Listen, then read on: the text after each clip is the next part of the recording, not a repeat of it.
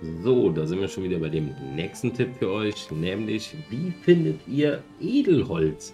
Edelholz ist in zwei verschiedenen Baumarten zu finden. Einmal an der Eiche.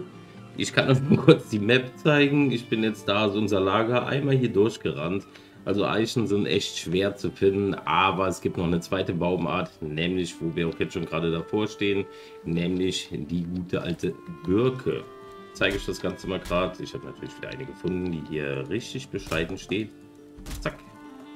Was benötigt man dafür? Richtig, ihr seht schon bei mir im Inventar eine Bronze-Axt, weil sonst könnt ihr... Uiuiui, der rollt aber schön. Denn sonst könnt ihr die Birke nämlich noch nicht abbauen. Das sind nämlich die Bäume, wenn ihr ganz am Anfang seid, fangt ihr an Holz zu farben und immer wieder bleibt mal eine Birke stehen und ihr seid einfach... Guckt euch mal an, wo dieses Holz hinrollt. Könntest du da mal stehen bleiben, Holz? Gut, nehmen wir das hier. So, ne. Eieiei, manchmal. Ne, immer noch nicht.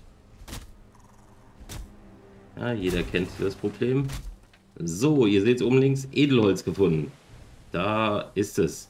Also, wie gesagt, ihr könnt das Ganze mit Birken machen, mit Eichen, Werkzeug dafür ist halt die Bronzeaxt. Wenn ihr wissen wollt, wie ihr die Bronzeaxt her, äh, herstellen könnt, gerne in meiner Playlist nachgucken. Einfach Walheim Tipps und Tricks auf meinem Kanal. Da werdet ihr auch schnell fündig. Und dann würde ich sagen, war es das auch schon wieder. Ich hoffe, ich konnte euch weiterhelfen. Wenn ja, gerne ein Like da lassen. Und in dem Sinne wünsche ich euch noch viel Spaß beim Zocken und haut rein.